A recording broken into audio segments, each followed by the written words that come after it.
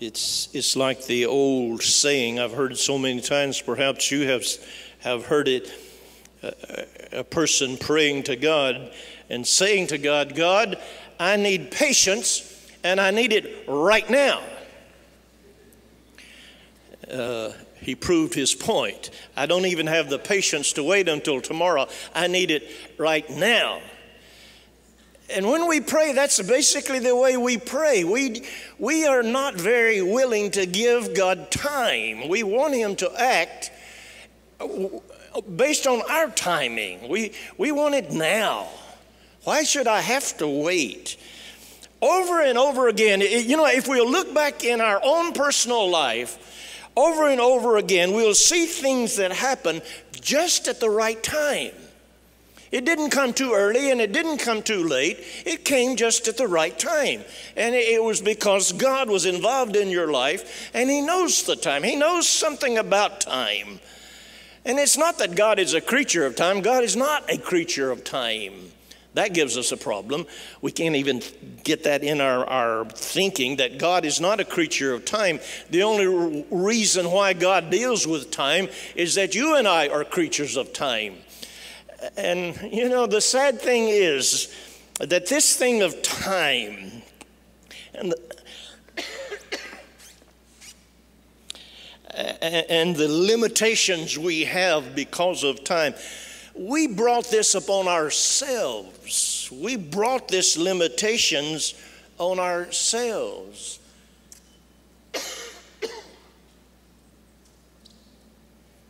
How many of you have got a cough? It seems like everybody I'm talking to got, I've been coughing for days and days, and I've been praying impatiently for God to take it away, and it, it hasn't happened yet, but. You, you, you say, what do you mean we brought this limitation of time upon ourselves? You see, when you go back to the time when, when God created us, there are all all kinds of implications and an understanding from creation that when God created Adam and Eve, He created them to live forever.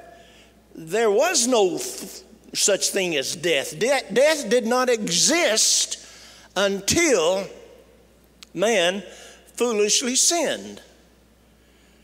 And when he sinned, he brought on to himself a limit of time he eventually died. You know, I, I find it amusing. It shouldn't be amusing. Here, Adam and Eve were in this beautiful garden, this utopian uh, garden. Everything that they needed was, was there, perfection. And, and, and God said, you, you, This is for you to enjoy. You, you enjoy this this garden and all the fruits and all this is yours.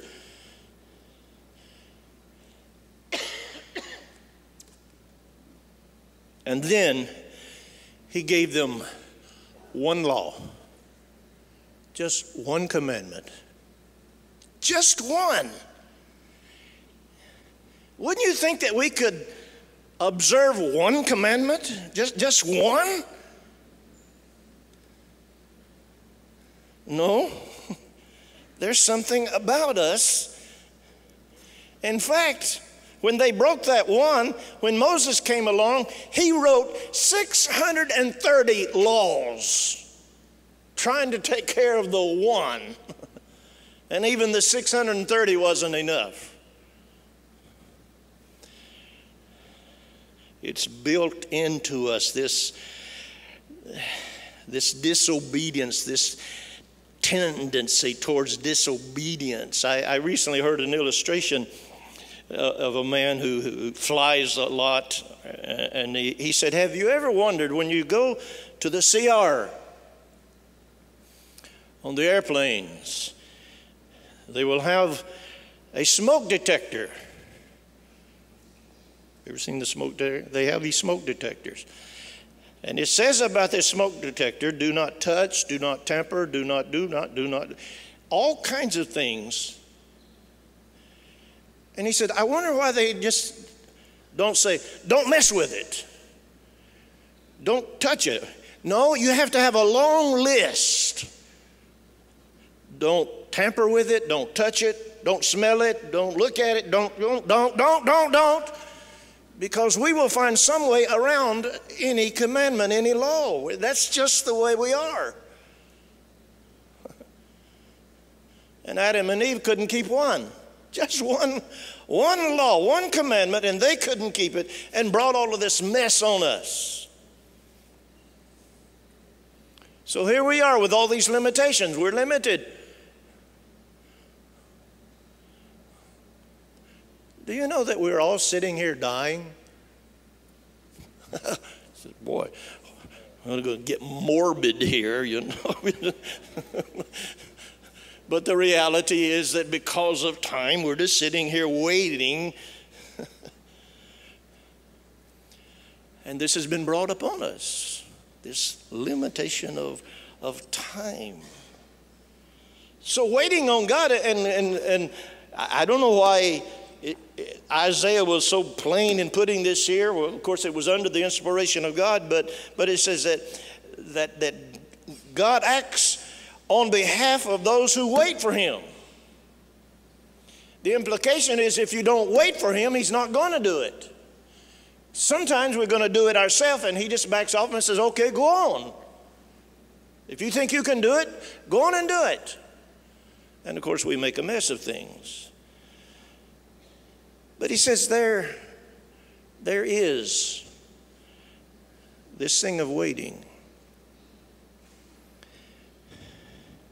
My goodness, there's so much in just this concept of waiting.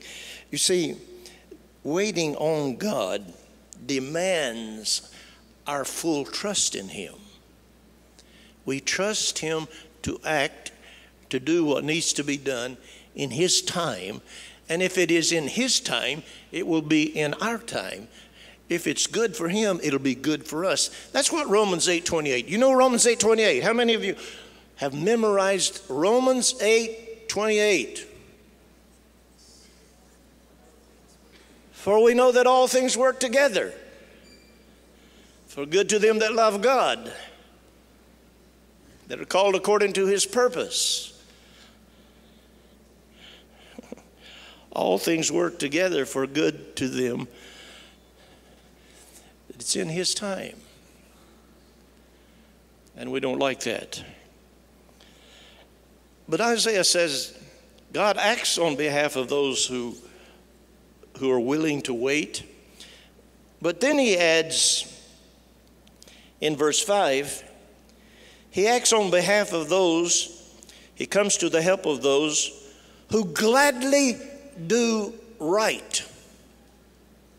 They not only wait on him, but they gladly do right.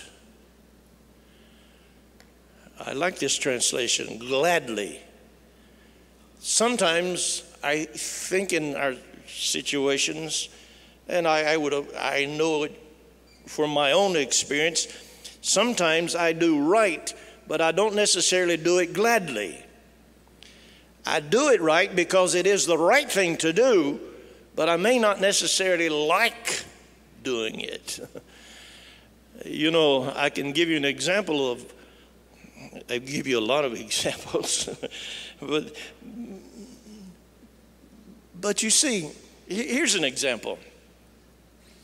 Have you ever wanted to take revenge on someone who has done you wrong?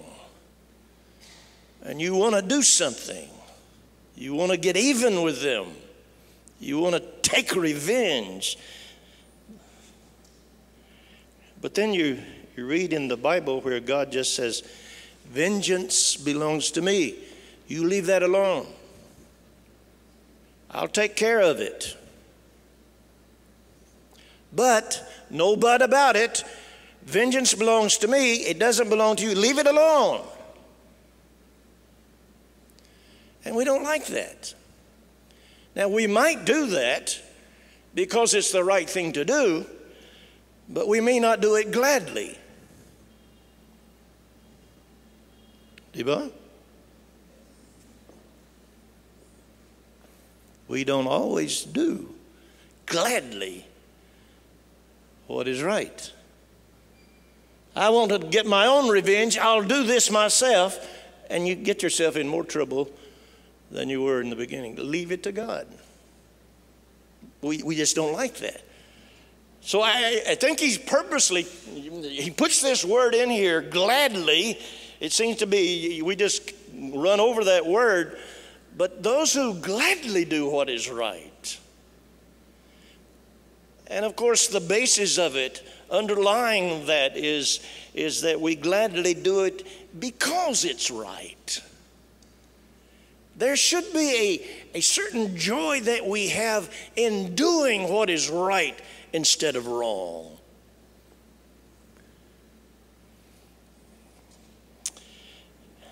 But God acts on behalf of those who are willing to wait on Him. He acts on behalf of those who gladly do what is right. And He also acts for those who remember His ways. That's the last part of that verse, or in the middle part, who remember your ways, those who remember. What, what, is, what are we talking about when we talk about remembering God's ways?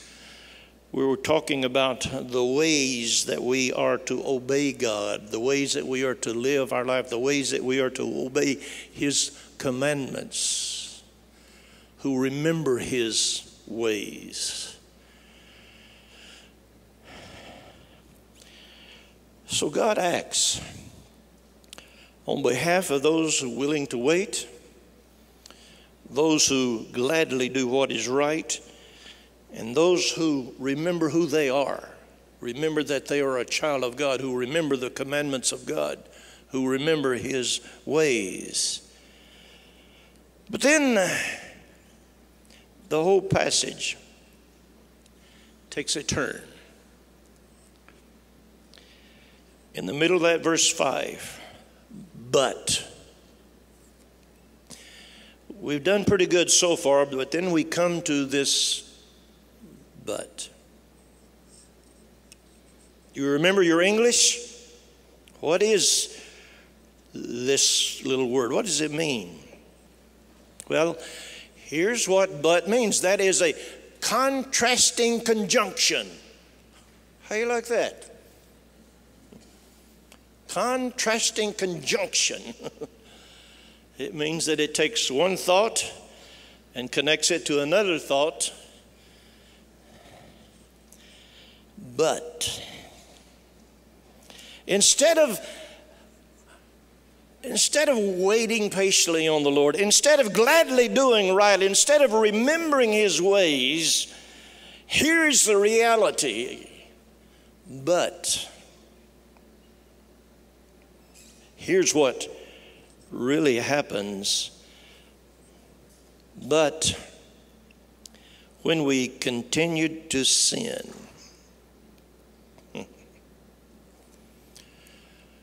you became angry. You know, we stress, rightly so, uh, we, we stress the love of God and that He loves the unlovable. We talk about the grace of God, unmerited favor that is shown to us, rightly so. And we talk about these attributes of God, which are tremendous attributes of God. But we never seem to pause to think that God might be angry about something that really doesn't seem to fit in with our theology for some reason that God would actually be angry about something. But we need to understand the personality of God. God can become angry. In fact, in, you, you go back to Noah's time, he became so angry with the entire world, the whole population, that he, he decided to, to simply wipe a man from the face of the earth.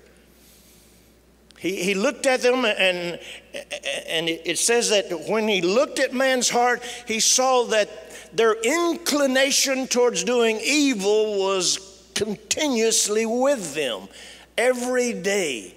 And he said, I am sick and tired of man. wow. I'm going to kill them all.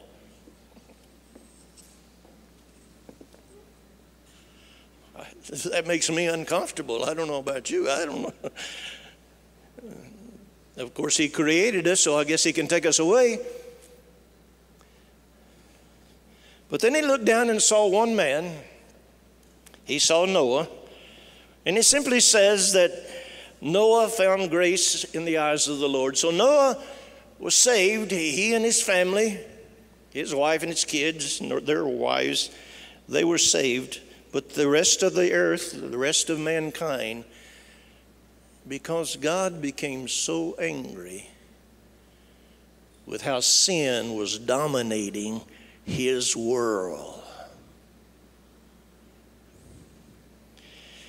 This concept of God's anger continues to, to surface as we read through Scripture.